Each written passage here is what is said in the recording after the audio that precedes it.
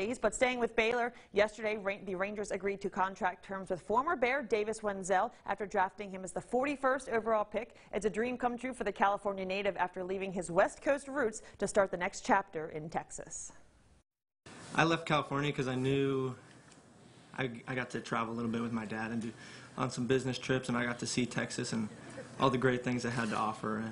I left California because I wanted to go hunt and fish, and I knew in California you couldn't really do that. And my graduation present, I actually got a shotgun, so I could go duck hunting with my buddies, and just the people, the culture, and just the freedom that Texas gives you. That's what I love about it.